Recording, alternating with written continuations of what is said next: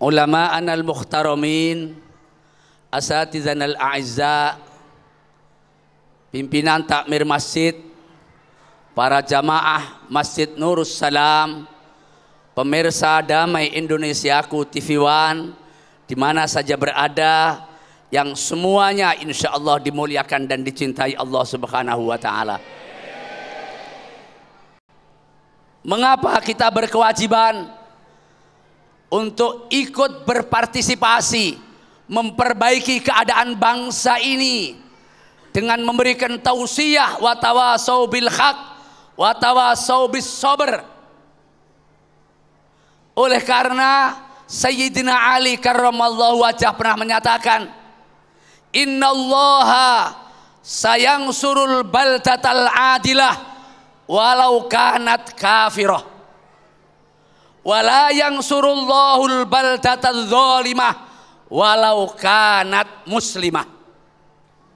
Kata Sayyidina Ali dalam pengelola negara ini yang penting bukan cuma istighosah di kampung-kampung bukan cuma ngajak berzikir di kampung-kampung bukan cuma itu tapi yang paling penting bagaimana menciptakan keadilan.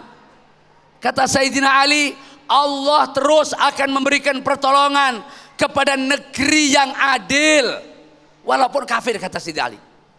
Maka kita lihat jangan heran kalau di negeri ini banyak negeri yang aman, damai, makmur. Mengapa? Karena pemimpinnya adil.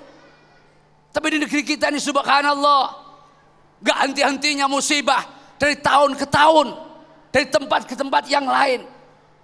Sampai kita kadang-kadang takut ke Jakarta ini. Mau naik pesawat terbang, takut pesawatnya jatuh. Mau naik ojek, takut ketiban pohon. Mau diam, takut kalau gempa bumi. Mau di pinggir laut, tahun tsunami, takut tsunami. Pendeknya serba tidak jelas. Mengapa? Karena kapan-kapan datang musibah dari Allah dan itu kuncinya adalah tergantung kepada imam yang adil. Ibu kenal nggak dengan seorang pemimpin namanya Umar ibnul Aziz? Kenal nggak? Kenal? Di mana lo kenalnya? Enak aja lo. Kalau Pak Haji Umar gue kenal. Umar Abdul Aziz masa kenal Ustaz zaman dulu kok kenal. Dia nggak pernah tahu Bekasi. Ini beliau datang ke Madinah pak. Datang ke Madinah. Umar ibnu Aziz seorang tokoh yang terkenal Saking sederhananya ketika terja, ter, datang hari raya, semua anak-anak pada pakai baju baru. Anaknya menangis, minta baju baru. Pak, tolong dong beliin baju baru. Tolong Pak beliin baju baru. Dia panggil istrinya. Ternyata tidak ada sepeser pun uang simpanan istrinya. Bayangkan coba. Bayangkan dengan pemimpin sekarang yang satu orang punya rekening gendut sampai triliunan. Gajinya berapa? Rekeningnya berapa? Dari mana itu asalnya? Ya, jangan-jangan salah alamat. Emang Ayu Ting Ting apa?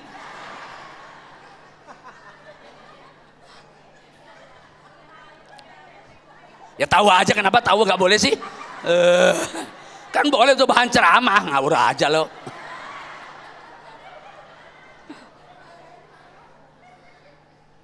Itu khalifah yang sederajat dengan khulafa Rasidin sampai dijuluki sebagai Al Khalifatul Khamisah sejajar dengan sahabat Abu Bakar, Umar, Utsman, Ali. Ketika datang hari raya, putranya minta baju gak punya duit. Istrinya jangan-jangan punya tabungan sisa belanja, enggak gak ada sama sekali. Akhirnya didiemin anaknya dengan kata-kata anak, laisal aid man labisa thiyabal jadid walakin mangkana ta'atuhu tazid. Hari raya itu bukan ukuran baju baru nak, tapi hari raya itu adalah orang yang taatnya lebih bertambah. Walaupun tidak hari raya Idul Fitri, kalau ibadahnya bertambah, baca Qur'annya bertambah, ngajinya bertambah, pelayanan kepada suami bertambah, itu namanya hari raya. Walaupun bajunya baru ngambek melulu, udah pendem aja deh. Itu bukan seorang istri yang berhari raya itu. Ibu dan bapak sekalian yang saya muliakan. Seorang khalifah yang seperti ini. Lampunya ada dua. Kalau urusan keluarga lampu cendir. Kalau urusan negara dimatikan lampu negara. Dipisahkan betul. Takut kalau haknya rakyat masuk dalam dirinya. Karena kalau haknya orang lain, saya misalnya hutang sama Agus, 10 ribu gampang minta maaf kalau nggak bisa bayar. Tapi kalau saya makan haknya rakyat Indonesia 200 juta lebih, kapan saya minta maaf? Dan itu pasti akan dipertanggungjawabkan di mahkamah Allah Subhanahu wa taala. Makanya berat. Makanya saya heran sekarang yang aneh jadi orang berebut mau jadi pemimpin. Berebut mau jadi wakil rakyat. Nah, hadirin dan hadirat sekalian yang mulia. Pemimpin yang namanya Umar bin Abdul Aziz ini datang ke Madinah dengan kesederhanaan, dengan keadilan yang demikian rupa. Tiba-tiba Madinah goncang gempa bumi. Gempa bumi Madinah. Satu-satunya itu. Beliau langsung turun keluar kamar Kemudian duduk di atas bumi. Apa dia bilang?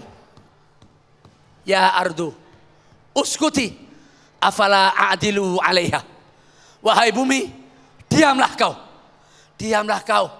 Kurang adil kayak apa aku di atas engkau ini, wahai bumi. Seketika itu bumi langsung diam dan sampai sekarang tidak pernah gempa lagi di Madinah. Karena itu jawaban supaya Indonesia terhenti dari musibah, puting beliung, gempa bumi, macam-macam musibah. Satu saja jawabannya, rakyat Indonesia harus memilih pemimpin yang adil yang memperhatikan kepentingan rakyatnya. Dan ajaklah ke jalan Tuhanmu dengan hikmah. Hikmah itu artinya kalau orang Inggris bilang kena iwae ora budek banyune airnya kepegang eh, ikannya kepegang airnya tidak keruh